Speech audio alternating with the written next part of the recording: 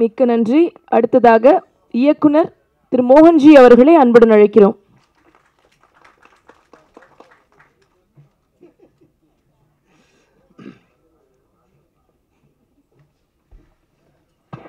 இதை ஸ்கூலில் வாத்தியார்கிட்ட ஒன்றுக்கு போயிட்டு வரேன்னு சொல்ல மாட்டாங்க மாணவர்கள். அந்த மாதிரி வருமா நான் பேசிட்டு வரம்பான்னாரு அதெல்லாம் ஒன்றும் இல்லை. இன்னும் ஆள் இவன் டைரக்டர் ஆகிட்டான்னா நம்மளை வேலை வாங்கி அப்படின்னு. நல்ல மிகச்சிறந்த நம்மாள். எல்லாரும் நம்மாள் தான். அதான் நம்ம கூட ஒருத்தர் வர்றாருன்னா பெரிய மகிழ்ச்சி. தம்பி பெரிய லெவல் வருவான். நான் அதுக்காக வரல இப்போது இந்த டவல் வாங்குறீங்கல்ல தம்பி இந்த ராஜஸ்தான் டவல்லாம் வாங்கி போடாதீங்க. நீங்கள் டவலே போடாதீங்க. எது யார் கேட்டா உங்களை டவலை ஆ அது எதுக்கு அது? தூக்கி குப்பையில் போட போகிறாங்க இந்த கைத்தறி டவல் காதியில் விற்கிறதில்ல அது வீட்டுக்கு பயன்படும். ஒன்று வாங்கினேன் வாங்கினேன் தேவையில்லை. இப்போ யாருமே அந்த டவல் கேட்கல அது அப்படி ஒரு ஒரு ஐயாயிரம் அதுக்கு செலவுன்னா இந்த ஏழைகளுக்கு கொடுத்தோம் இல்லையா? அது கூட சேர்த்து கொடுத்துட்டு போவோம். அது எதுக்கு? அது ஒன்று இப்போ நம்ம ஈஸ்வரனுக்கு முருகன் ஒரு பாடம் எடுத்தாருன்னு சொல்லுவாங்க. ஒரு புராணத்தில் இருக்குது ஈஸ்வருக்கு வந்து நமக்கு முருகன் அது நேற்று நடந்ததுங்க எனக்கு. நேற்று நான் சாப்பிட உட்காந்தேன் பக்கத்தில் நாலு வயசு குழந்த பெண் குழந்த அது சாப் தயிர் சாதம் சாப்பிட்டுச்சு. நான் வந்து சாம்பார்லாம் சாப்பிட்ருந்தேன் அப்போது இந்த கறிவேப்பிலையை எடுத்து வச்சுட்டேங்க தனியாக கறிவேப்பிலை ஒரு அஞ்சாறு இருந்தது அதில். அது கொஞ்சம் கசக்கன்றதால டேஸ்ட்டை குறைக்குதுன்னு நான் அப்படி பண்ணிவிடுவேன் அப்படி எடுத்து வச்சுட்டேங்க. இந்த பாப்பா குழந்த பார்த்துக்கிட்டே இருந்ததுங்க. பார்த்துட்டு தாத்தா ஏன் அதெல்லாம் எடுத்து வைக்கிறீங்கன்னுச்சு?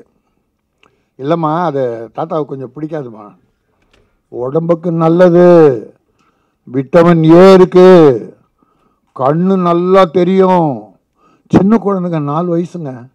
அது யார் காரணம்? அவங்க பெற்றவங்க காரணம். பெற்றவர்கள் குழந்தைய நம்ம பாரம்பரிய உணவு இந்த பாருங்க மிளகு அவாய்ட் பண்ணுங்க பல நோய் வரும். மஞ்சள் பூண்டு இப்படி நிறைய விஷயம் இருக்கு. இஞ்சி இதெல்லாம் பயன்படுத்தணும். அது குறைஞ்சாதான் நோய் வருது. அந்த எனக்கு பாடம் கற்றுக் கொடுத்த அந்த குழந்தை யாரும் இல்லைங்க? இவனுடைய பொண்ணுங்க. நம்ம மோகனுடைய பொண்ணு நாலு வயசு ஒரு குழந்தை இப்போ.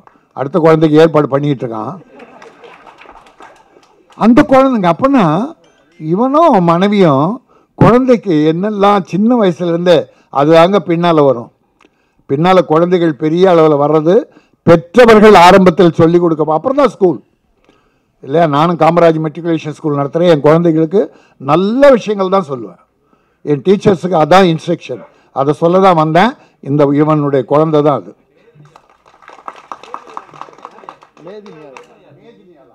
தமிழ் பேர். மேதினியாள் பாருங்க பாருங்க. பேரை கூட என் பேரன் எப்படி வச்சிருக்கான் பாருங்க. மேதினியாள். பெண் குழந்தையின் பெயர் மேதினியாள். ரோஷினி விஷனி விஷமி. இப்படிலாம் வைக்கல. மேதினியாள். வாழ்க. இந்த விழாக்கு வந்திருக்கும் அனைவருக்கும் மேடையில் இருக்கும் பெரியவர்களுக்கும் பத்திரிகையாளருக்கும் என்னுடைய அன்பான வணக்கங்கள். முக்கியமாக கே ராஜன் அப்பாக்கு. என்னென்னா இதான் நான் முதல் முதல் அவர் பக்கத்தில் உட்காந்து அட்டன் பண்ணுற ஃபங்க்ஷன் அது கொஞ்சம் நடக்கும்போது தான். அதான் அவர்கிட்ட பர்மிஷன் சொல்லிட்டு வந்தேன். ஏன்னா வண்ணாரப்பேட்டையில் எங்கள் வீ எங்கள் வீட்டு தெருக்கு பக்கத்தில் அப்பாவோட வீடு. பக்கத்து தெரு ரெண்டு பேரும். நான் சின்ன வயசில் ஒரு ஆறாவது ஏழாவது படிக்கிறப்ப ஸ்கூல் போயிட்டு வரப்பெல்லாம் அவர் ஷூட்டிங்கை நின்று வேடிக்கை பார்த்துருக்கேன். அதுதான் நான் இங்கே நிற்கிறதுக்கு முக்கிய காரணம். இது அவர்கிட்ட சொல்லியிருக்கேன். அவர் சொன்னார் இல்லையா இங்கே ஷூட்டிங் நடத்துங்க தொழிலாளர்கள் முன்னேறுவாங்க அப்படின்னு. அதில் நான் இதுவும் சொல்லிடுறேன். இங்கே ஷூட்டிங் நடத்துனீங்கன்னா அடுத்த தலைமுறையில் ஒரு பல இயக்குநர்கள் உருவாவாங்க. ஏன் நான் உருவானதுக்கு நீங்கள் காரணம். இந்த மேடையில் பதிவு பண்ணிடுறேன். அதுதான் கொஞ்சம் பயம். அவர் பக்கத்தில் உட்கார்றதுக்கும். பகாசுரன் படத்தில் ஒரு முக்கியமான வேடம் நடிச்சிருக்காரு. வேலை வாங்கினா அப்படிலாம் சொல்கிறாரு இல்லை அவர் உண்மையிலேயே ரொம்ப நல்ல நடிகர்.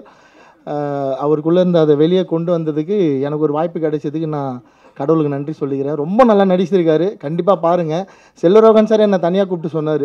எப்படி இவர் இவ்வளோ நாள் யூஸ் பண்ணாமல் விட்டாங்க? செல்வரோகன் சாரே கூப்பிட்டு சொன்னார். அது அவர்கிட்டையும் சொன்னார்.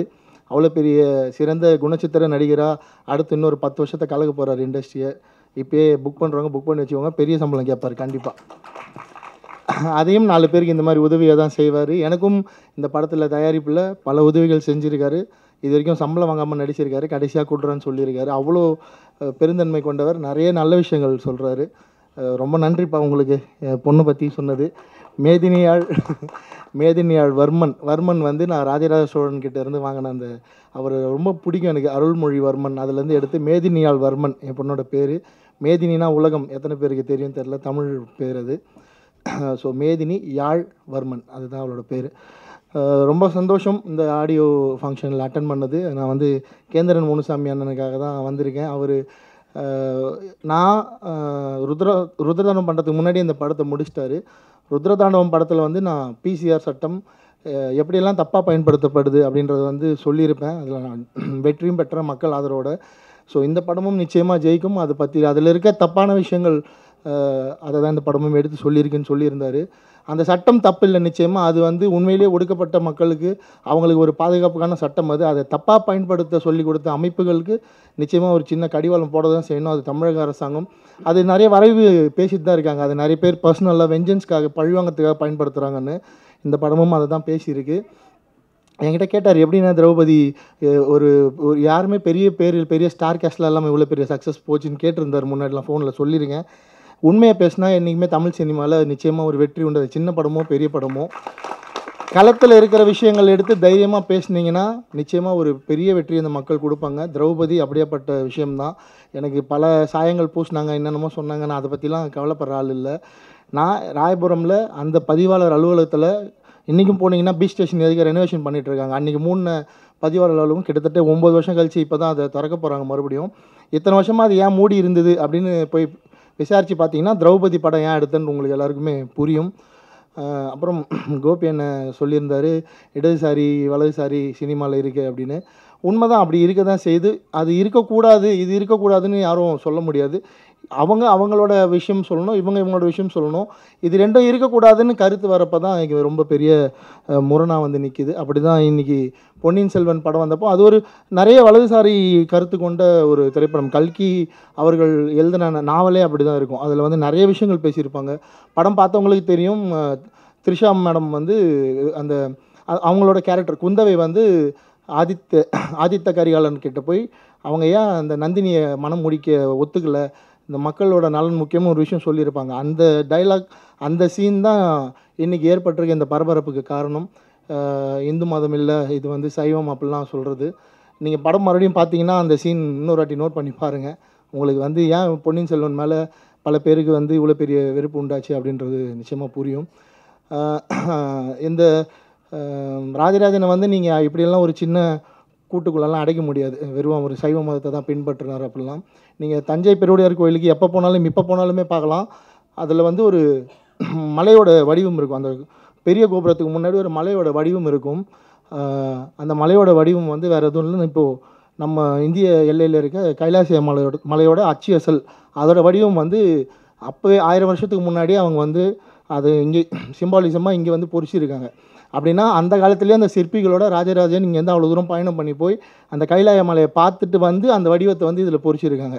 அந்த மலையில் கணபதியம் அப்படின்னு சொல்கிற கணபதி உருவமும் இருக்கும். கௌமாரம் அப்படின்ற முருகனோட உருவமும் பொறிச்சிருக்கும். ஸோ ராஜராஜ சோழனை வெறும் சைவம் என்ற கூட்டுக்குள்ளே அடைக்க முடியாது. அவரோட மகன் ராஜேந்திர சோழன் கட்டிய கங்கை கொண்ட சோழபுரமும் அந்த கோயிலை கட்டினதுக்கப்புறம் அந்த ஊரை புனிதமாக்க கங்கை வரைக்கும் போய் நீர் எடுத்துகிட்டு வந்து அந்த ஊரை வந்து புனிதமாக்கினார் ராஜேந்திர சோழன் அவரோட மகன். ஸோ அது நம்ம இன்னும் தொடர்ந்துட்டுருக்கோம் நம்ம வீட்டில் ஏதாவது யாராவது தவறிட்டாங்கன்னா அந்த பூதோடலை கழுவுறதுக்கு கங்கை நீர் கலந்த தண்ணியில் தான் இனிமேல் அந்த உடம்பை கழுவி புனிதப்படுத்தி சுடுகாட்டு கொண்டு போவோம். இப்போவுமே அந்த வழக்கம் இருக்குது எல்லார் வீட்லேயும் இந்து மத சடங்கோட தான் நம்ம அதை பண்ணுவோம் பார்த்துருப்பீங்க. அதனால் இது இல்லை அது இல்லைன்னா சொல்லாமல் என்ன வழக்கத்தில் இருக்கும் இன்றைக்கி மக்களை குழப்பக்கூடாது பிரிக்கணும்னு நினைக்கக்கூடாது. ஒரு வேண்டுகோளாக வச்சுக்கிற இந்த நேரத்தில் வலதுசாரி படங்கள் நடுநிலையான படங்கள் இடதுசாரி படங்கள் எல்லாமே சினிமாவில் வரணும். அப்போ தான் அவங்கவுங்களோட கருத்து வந்து வெளியே தெரிய வரும். இது பண்ணக்கூடாது அது பண்ணக்கூடாதுன்னு எதையும் யாரும் தடுக்காதீங்க. ஏன்னா எனக்கு நிறைய நடந்திருக்கு. கேந்திர நலனுக்கும் அது நடக்கும். ஆனால் நீங்கள் உண்மையாக படத்தில் நல்ல விஷயம் நடந்ததை சொல்லியிருந்தீங்கன்னா நிச்சயமாக மக்கள் ஒத்துப்பாங்கண்ணே. ஏன்னா திரௌபதி வட மாவட்ட மக்கள் மட்டும்தான் பார்ப்பாங்க அப்படின்னு சொன்னாங்க. ஆனால் திரௌபதி தென் மாவட்டத்துலேயும் அதிகமாக ஓடிச்சு. மதுரையில் கலெக்ஷனும் திருநெல்வேலியிலையும் கன்னியாகுமரியிலையும் கோயம்புத்தூர்லையும் என்ன கலெக்ஷன் எனக்கு தெரியும். வட மாவட்டம் தாண்டி நான் வட மாவட்ட பிரச்சனையை பேசியிருந்தாலும் அது எல்லா இடத்துலையும் போச்சு. அந்த மாதிரி இந்த ஓங்காரம் திரைப்படத்துலையும் நல்ல கண்டென்ட் ரொம்ப ஸ்ட்ராங்கான கண்டென்ட் உண்மையாக பேசியிருந்தீங்கன்னா நிச்சயமாக இது வட மாவட்டத்திலையும் பெருசாக போகும். தென் மாவட்டம் மட்டும் இல்லாமல் தென் மாவட்டம் சேர்ந்த மக்கள் இது மதுரை சார்ந்த படம்ன்றதால உங்களுக்கு இன்னும் அதிக ஆதரவு கொடுப்பாங்க. உங்களோட வேலை இப்படி ஒரு படம் வருதுன்றதை நீங்கள் அவங்கக்கிட்ட கொண்டு போய் சேர்க்கறது மட்டும்தான். அந்த வேலையை நீங்கள் பாருங்கள் உங்களுக்கு வெற்றி கொடுக்கறத மக்கள் பார்த்துப்பாங்க. பாட்டு ரொம்ப நல்லா இருந்தது. ஒரு மியூசிக் டைரக்டர் பேசுகிறப்போ ஒரு நிமிஷம் கண் கலங்கிட்டார். அவங்க தம்பிக்கு இந்த இடத்துல நான் எழுந்தல் தெரிவிச்சுக்கிறேன். ரொம்ப நல்லா இருந்துச்சு சார் பாட்டு. உங்கள் தம்பி ஆன்மா ரொம்ப சந்தோஷப்படும். ரொம்ப சூப்பராக இருந்தது அந்த பாட்டு. அதில் பர்ஃபார்ம் பண்ணியிருந்த அண்ணனும் ரொம்ப நல்லா பண்ணியிருந்தாரு. அண்ணன் சொன்ன மாதிரி ஒரு எனக்கு எனக்கு ராமராஜன் சார் மாதிரி தெரிஞ்சார். அவருக்கு ரித்திஷ் சார் மாதிரி தெரிஞ்சது. ரொம்ப நல்லா இருக்குது ரொம்ப பாசிட்டிவாக இருக்குது அந்த பாட்டு ரொம்ப சூப்பராக இருந்தது. நீங்கள் எப்போ ட்ரெய்லர் காட்ட போகிறீங்கன்னு ரொம்ப ஆர்வமாக வெயிட் பண்ணிகிட்ருக்கேன் ஒட்டுமொத்த குழுவினருக்கும் என்னோடய மனமார்ந்த வாழ்த்துக்கள். நன்றிகள். மிக்க நன்றி.